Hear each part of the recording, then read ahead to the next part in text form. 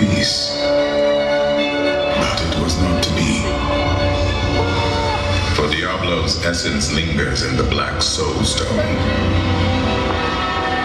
I cannot destroy the stone, nor allow its evil to remain within the heavens.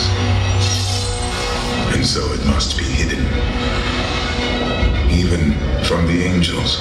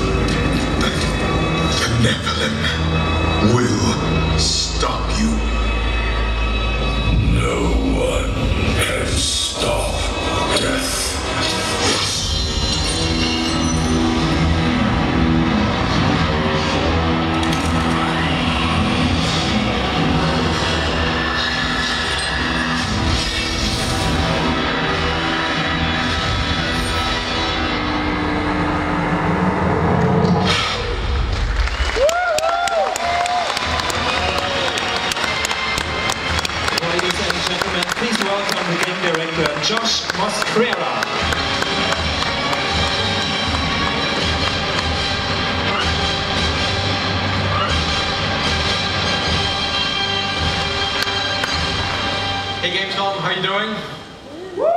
Awesome. Well, thank you so much for coming here for a big announcement. I'm really happy to introduce to you guys Reaper of Souls, the next expansion for Diablo 3. I'm Josh Mosqueira, the game director, and really excited to be here today and sort of lift the veil and show you guys what's in store for you guys in Reaper of Souls. Our goal when we started the project was simple, was to capture that fantasy that is at the heart of Diablo and really deliver it. And for us it means three things. The first one is epic heroes. Whether you're the barbarian or the demon hunter or the witch doctor, the players take on these bigger than life roles. You are one of the few Nephilim who must fight against the forces of darkness. And for this expansion, we're introducing a brand new villain to the world of Diablo. We're introducing Malthael, the fallen angel of wisdom, and his legion of Death Angels. But for us, it's not just about epic heroes or evil villains. At the end of the day, it's about the promise of epic loot. So we've done a lot of work from the ground up to really re-envision what loot means in Diablo, and I'm really excited to show you guys what we have in store for you. But what is Reaper of Souls? Well, it's a feature-rich expansion. And the star of the hour is a Crusader, our new class. He is the righteous warrior of wrath. He is your knight not in shining, but in battle-scarred armor, and he brings our total of playable classes to six. We are also increasing the level cap to 70, which means that all the classes are getting new toys to play with in the shape of skills, passives, and runes. We are also continuing the story of Diablo 3 with a brand new act centered around Malthael and his quest to destroy and eradicate all humans from the face of Sanctuary. And it's up to the player to try to stop death. But we're not just stopping at a new class and a new act. We also rethought what the end game means for everyone. And here we our focus is to try to provide with players with as many different options to when it comes to the end game. The two I'm going to talk about today are what we call loot runs and the upgrade to the Paragon system. But before I do that, I want to invite Brian up here to tell you guys a little bit of the story behind Reaper Souls. Brian?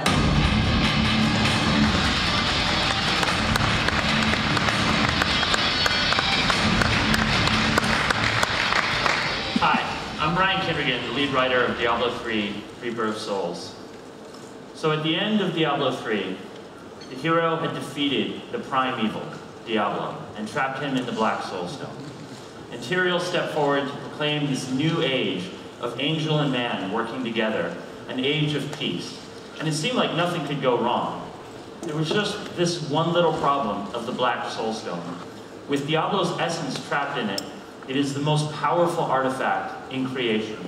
And as you heard in the cinematic, Tyrael didn't know if it could be destroyed or what would happen if it was, and so he decided to hide it away deep under Sanctuary. And that was the smartest thing he could have done, because even Tyrael, with all of his wisdom, could not have foreseen the return of Malthael. So Malthael was, for long, the leader of the angels. He would lead them into combat. He was the architect of the eternal conflict. And he was the angel that all of the other angels would come to for wisdom and guidance. And then one day, he simply disappeared.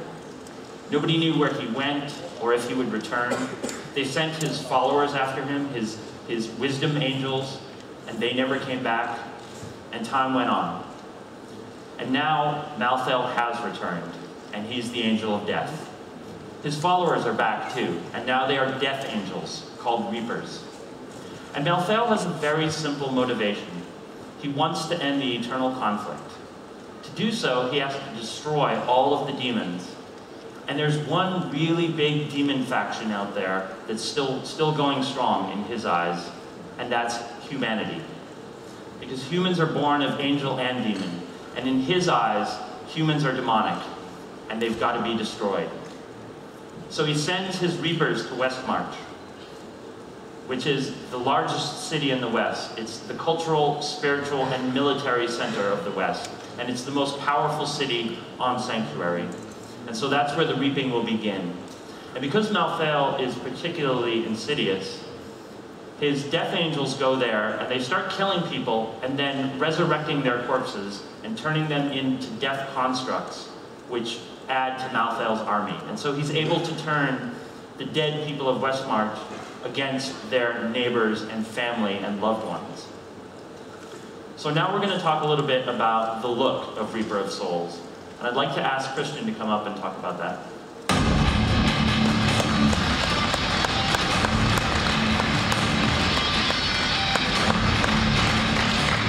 Hello, thank you for uh, coming. Uh, my name is Christian Lichtner. I'm the art director on Diablo 3, and I'm really excited about speaking about our newest villain, Malthael.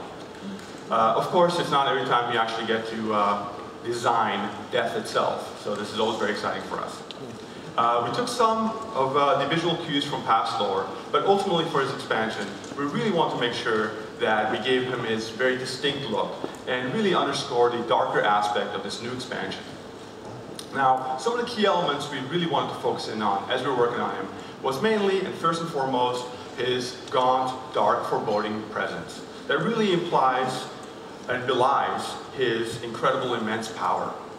He has angelic weapons, as you see in the twin sickles, that really he uses to slice his enemies. And he has this incredible power to literally drain his victims from their very souls.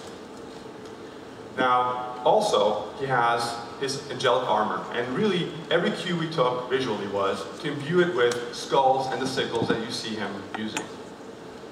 And the goal there was to really make sure that he came across as death incarnate. His angelic wings are ethereal and skeletal, and really leave no doubt that this is the angel of death. Now, of course, this is not the only new villain that you will be facing in Sanctuary. What would be, what would an awesome expansion be without new and exciting monsters? As Malthael invades Sanctuary, he literally is converting his victims into monstrous constructs, as Brian mentioned. And they have to follow his every whim and desire. And every new characteristic and ability for these new monsters that you get to play with are as follows. The Seraph here that you see is a dark ranged caster.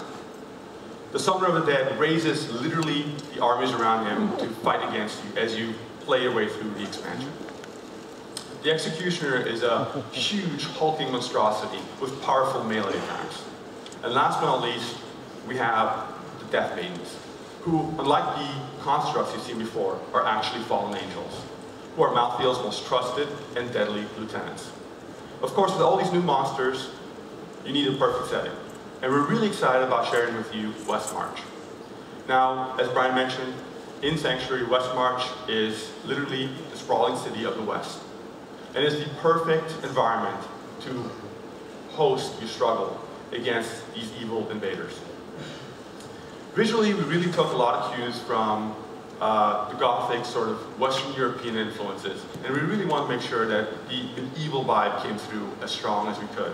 We really want to get to the heart of what makes Diablo Diablo.